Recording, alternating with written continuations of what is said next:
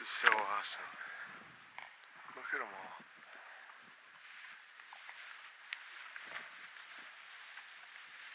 Thank you.